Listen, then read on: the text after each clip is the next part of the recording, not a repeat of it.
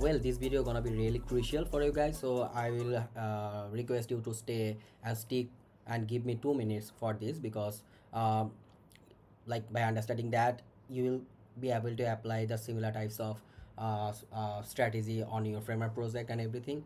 Because when i started my career i was the similar person like i didn't know anything and i was confused by but by practicing and everything now i can say i am a amateur level person who can do something in framer and that's what i'm going to share today. So the upload input file in framer uh, if i click here you can see it's actually binded with our framer form the native framer form. So uh, it will work the similar way the rest of the input file working at this moment and it's totally binded with our form by using submission.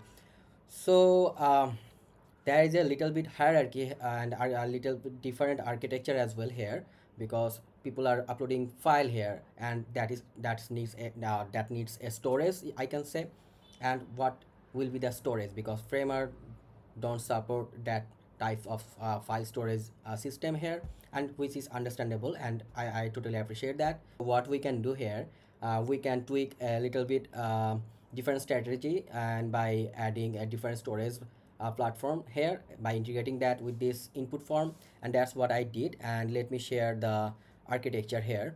So this one is our form right? This one is our front end interface. And here we have email input name input and the upload file input we have created here and in uh, like implement that.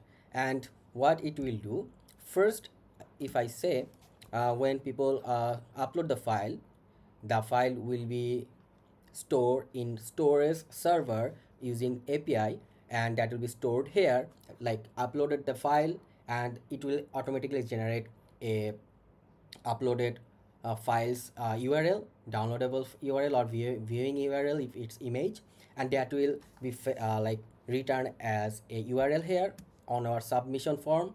And once you click the uh, submit form here, the whole information, including this one, will be stored as a data or using email, the one you prefer. Like it can be able to store the file on your like CSV file like Google Sheet or Excel sheet. Well, let's go back to our um, framer interface and this one is our input field right so if i expand that the file upload input file i binded that with our native framer form from here so let me start that again. So you can, uh, if you want to publish your website uh, super fast for your client projects or for your agency or whatever you name it you can follow this uh, video from my channel this one that i'm going to uh, share on my description part and also on the uh, information section here as well. So this video will guide you how you can scale your uh, website publication super fast from the traditional one by dragging and drop or copy and pasting components that already made here. So yeah you can take a look on that and understand. So this one is our framer form and it has my so you can see we have multiple labels here. The first one is name label and the second one is email label and the third one is location label right? So i need to create another label by duplicating that and remove the select component and I'm going to copy mine one this one file upload one and I'm going to paste that here. Uh, the existed label I can name it like upload file and that's where I'm going to paste my component and that's how you can bind uh, the upload input field on your native framer form because it will gonna work properly. No hassle or no like error you will face there. So that's how you can bind that. So if i click on the upload input field you can see there is a record option as well. So if i click here if you click this one it's showing the like record field here warning because i enabled that here so you can also control that from this uh, submission form button. And let me connect our storage because that's gonna be necessary here. And i won't take more than one minute or two minutes for that because uh, when you are going to create uh, a similar form for your client and to maintain privacy and everything you have to connect your client's account like cloudinary account that i'm going to use the storage i am meaning. It's called cloudinary and i can bring that here. You can see this one. You just need to create an account and i just created this one uh, from scratch. It's totally new and i'm going to set up everything here so you can understand everything better. So you have to use your client cloudinary account to set up to maintain her, their privacy and yours one as well. So that's why i uh, binded that in such a way. So you it will uh, cost your own storage not mine. And that's why i can share this as a free for you guys as you are my community people and also subscribers. So yeah it's totally free. And i will share the link and everything on my description part so you can take a look on that. Well i just set up the staves here. So i just completed the staves here and it, it was irritating for me as well. So, um, well uh, let's uh, click on skip one. You can set up those later.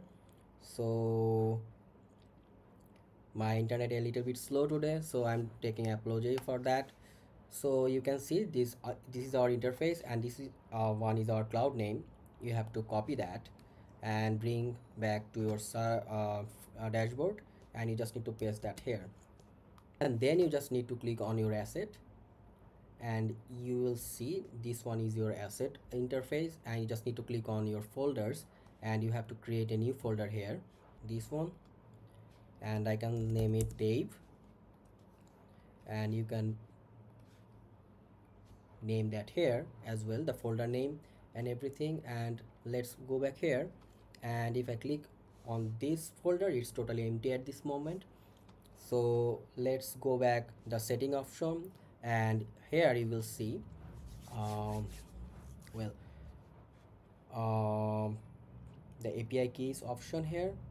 So you just need to set up your API and I already have that so I just need to copy that and paste that here. And if I go back again I just need to go back on our upload option. And I need to create a new upload preset here. And you can name your preset is Dave Shams okay. And I can go back here preset name. And you have to add the preset name here as well. Like if I expand that you can see this one. And go back here again. And you just need to uh, asset folder you need to mention that the folder I have created. So that's something like that. But if we have any subfolders you have created something uh, like shams store there you have to mention that something like this. So I didn't create any subfolder. So the Dave folder is totally fine here. And the rest of the part you can use uh, like you can enable or disable that based on your necessary but you have to click on unsigned one and I can save it. Well you can see our preset is ready and you can see our Dave Shams option. And if you want to edit that you can also do that from here. And you can see our PID is visible here. I just need to copy and paste that here. Um, public ID and that's it. Like I filled everything by setting that. So if I go back again and click here and name my name and something like this and click the option to upload any file and choose any role here and click on submit. You will see it will be visible on our um, Cloudinary at this moment and click on asset and our folder and the dev folder. If I click on it you will see it's already uploaded here right? It's under your own account so there is no privacy issue you are going to face. So i binded that uh, the submission form and everything using my mail. And if i go back to my email and i can share that with you you can see shams email address and everything. It's sending me but it's one minute ago right? Uh, it's it's happening because um, the location xx the file value because I didn't change the file value here. Like if I click on this one the file value I mentioned the UX diagram right? The value is xx that's why it's showing xx there. And also the location I mentioned here but it should be um, uh, it should be your role right? So that's why it's showing something like it, in, in, in a wrong way but you just need to set up those properly from here. And that's the reason I, I got a wrong one. Yep everything is fine now so I'm going to upload that again. Shams Nahid. And email address again and upload the file like um, okay let's upload this one. And I'm going to select the UX diagram again and the file size it's, it's showing and I just need to click on submit and I'm going back to my Cloudinary first and click on here and refresh that again. And I already got my email here as well. So if I bring back this one again you can see the role is xx because I didn't change that there as well just xx it's showing. The email address and everything is showing properly and if I click on this link it's visible here. The link it's working and here as well so what it does is just upload the file here and bring back the uploaded url that is visible for people or downloadable. And that's what it's bring back to our form. And after i click the submit button it's actually gathering everything and send me here. I binded that with my um, the whole form. I binded that with my email but i can also bind that with my google sheet or webhook whatever you need you can set up that here. The whole information will be stored there properly. So you don't have to face any issue there. Well now i believe you already got the whole system architecture like how the system is working. And that's how actually a full stack uh, application API request also work in a similar way. If you incorporate that in your full stack application it actually works in the same way like file upload or using uh, any like database how the file up upload actually work. First it uh, upload the file on their storage the database storage and then it send the uploaded url that you can use access using uh, like publicly or privately. It's up to you. And that's how you can maintain your file storage from your uh, like database or storage uh, whatever you name it. It's actually working in, in that way. And i already covered another one the reCAPTCHA one as well and this one as well everything will be free for my community people and all my, for my subscribers. So you don't have to pay any penny there. You just need to use the code that i'll provide on the uh, like description or the email one. Like once you select the component and submit that I will send that to your email address using the promo code and everything so you can grab that from there.